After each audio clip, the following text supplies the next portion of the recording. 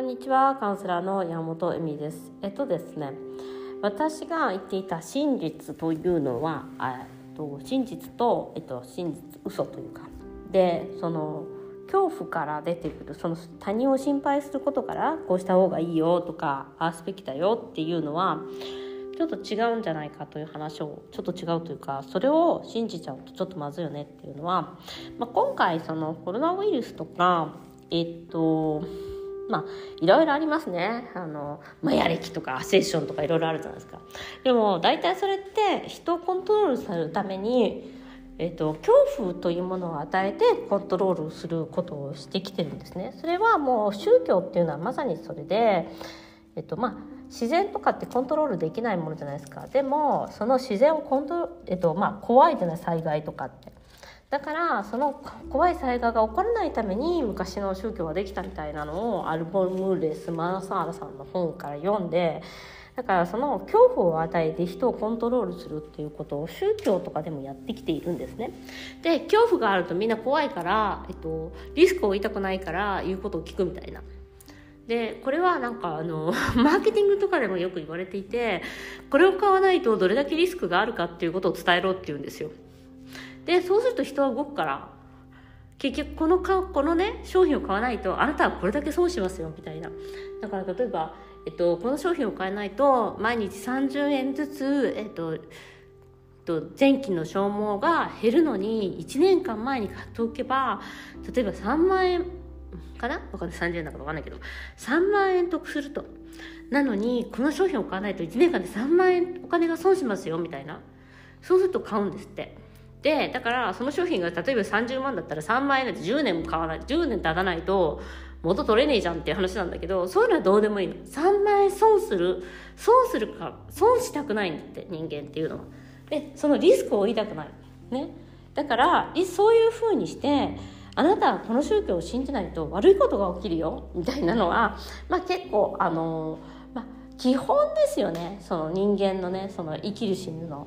で私も今回でもコロナウイルスでもすごい見たのはやっぱりそれを使ってコロナをこれをしないと、まあ、死ぬようじゃないけどこれをしないとやばいよとかさなんか多いじゃないですか今。なんかそのワクチンだけじゃなくてもなんかこの食料品がなくなるよとかさ。なんか私あんなにでもなんかそうやっ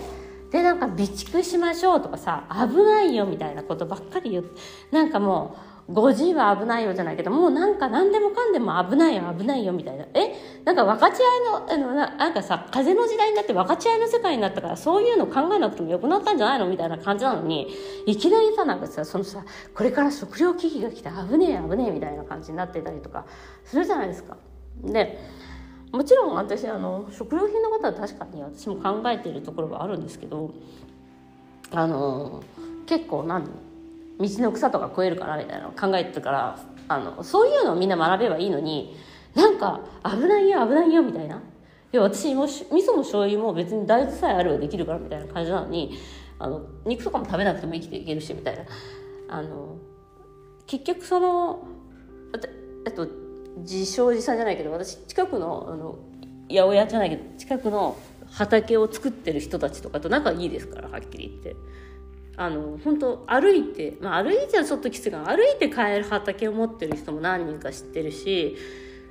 えっ、ー、とまあ歩でもさそそういう問題じゃないのなんかそうやって恐怖を与えて食べ物がなくなるとかさなんか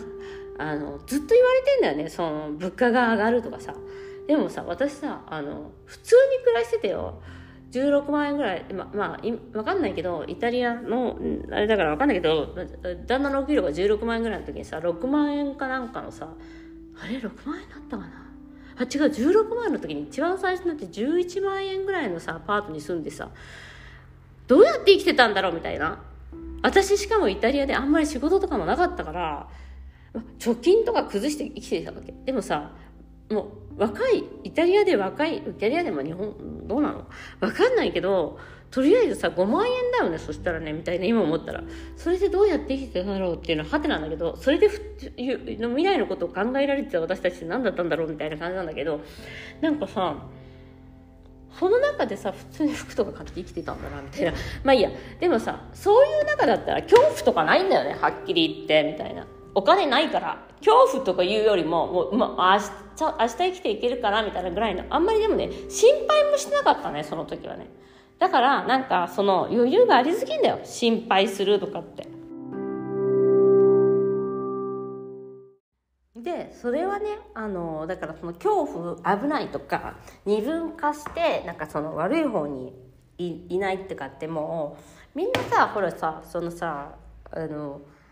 変な宗教にとか思うけどさそんなのよりももっと立ち悪いと思うんだよね。だからそういう恐怖に飲みあのもちろん何先のことを考えないわけでは人間はないからだけどでも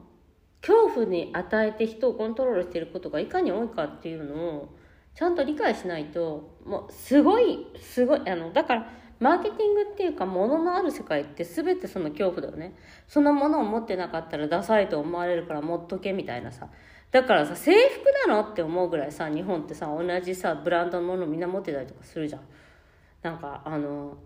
みんな財布はさハイブランドじゃないとダサいみたいな。いやこっちでハイブランドの財布持ってる人なんて少ないよみたいな。だからあのそういうのにこう洗脳されてるんだよね実際ね。うん。なんかそこそこはすごい怖いなってすごい思う思うんだよね。その思う。だからその恐怖そのさ二分化とかもさまあどっちいたって結だから結局そのどっちかに入っちゃうと負け組じゃないけどさリソースが結局ないわけでしょ。でさ最終的にさそのリソースをさ相手に分け与えたくないと思ってるわけでしょ。どっちが側にとりあえず入っとかないとなんかそのリソースその美味しいお餅みたいなのをさ なんかこっちに入っとかないとあげないよって言われるっていう。そんな世界私嫌なんだけどって思うんだよね。どっちに入ってもみんなそのいいリソースっていうかいいいいお餅はなんかみんなに分け与えられないってなかったら理論っていうのは私はもうその昔それこそ昔っぽいさ理論っていうのさそれなんじゃんって思うの。だからあのそうやって恐怖を与えてくれる人たちっていうのはまあいると思うんだけどそれが知識人だろうと有名人だろうと私本田健さんのやつさなんかさ一時期フェイスブックでガンガン出てきて見ててさなんかちょっと見て。やばいやばいなじゃないけどさ本当にさ恐怖を与えるようなことしか言わないんだよね。で、なんかこう、これからすごいことが起こっちゃうんですとか言ってるけどさ、別にヨーロッパに住んでて別に全然すごいことなんか起こってないし、はっきり言って私が行ってるスーパーとかで物が足りなかったことなんかないんですよ。もちろんね、あの、その時期だけは並んだことは1回か2回ある。でもうち、あの、並ばないで行けるお店とかもあるの、ちっちゃいお店とか。だからさ、そういうちっちゃいお店とか並ばないで行けるからさ、ちょっと高いのかもしれないけど、1割ぐらいかな。わかんない。もう、そんな、値段とかも見てないからだけどなんかそのちっちゃいお店とかだったら個人商店だったら全然並ばないで買えるしもちろんねスーパーとかうん。なんかだから面倒くさくないっていうのはあるけどスーパーだと全部一緒に育あの揃うから。でもなんかそういうところでももうこれからなんか生きづらくなるやばいやばいとか言ってるけど本当なのっていう。あなたの人生この1年間本当に生きづらくなった大変になったみたいなのをあのもちろんなってるね。あの飲食店の方とかはいるとは思うんですけどそっちの方だよね。食料品が足りないとかさそういうことではなくて。なんかだからその恐怖を与えてコントロールされることをもうやめた方がいいんだよね。だからそれは親にもそうだし社会にもそうだし世間的にもそうだしあ特にヒーラーさんとかそうだよ。私自身はしないようにしてるけどカウンセラーとしてでもやっぱり相手のことを心配した時は間違えることがあるからえっとねでもそんなのじゃダメだよってそのまずそこの部分を否定していくっていうのをやめない限りは疲れるよねもう。もう嫌になっちゃうじゃん。だから自分がそのままで大丈夫、絶対あの、守られてるから、最後の最後まで結構守られて生きていけるよっていうことを言ってほしいじゃないですか。でもそういうことを安心させるようなことを言えない人っていうのはその世界に生きてるから、結構危険なんじゃないかなと思いますけどね。だってそんなこと起こってきてないじゃん。その2年間のコロナだってそんな人も死んでないし。なんかイタリアもねいっぱいその感染者いるけどいっぱい感染者増えてるけど別にそんな大変なことになってないっていうか、うん。ま、本当にだからその騙されないようになんかそのそれでえっと、相手に罪悪感を与えるみたいなことをやめた方がいいよね。自分の心配を相手に押し付けて罪悪感を与えていくみたいな。うん。まあ、それはすごい感じますね。ということで、えっと、恐怖や心配から、えっと、何か行動を起こすことっていうのをやめるっていうのはすごく重要かなと思います。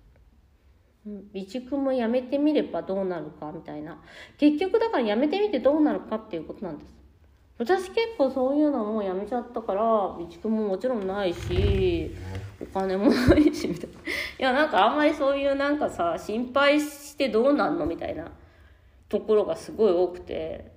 やめたんだよねめんどくさいから。心配してるのとかってめんどくさいっていうか。でもねそういう癖をつけるのってすごい重要なんじゃないかなと思いますけどね。うん。だってやること本当は人生にはたくさんあるから。心配してる暇があったら、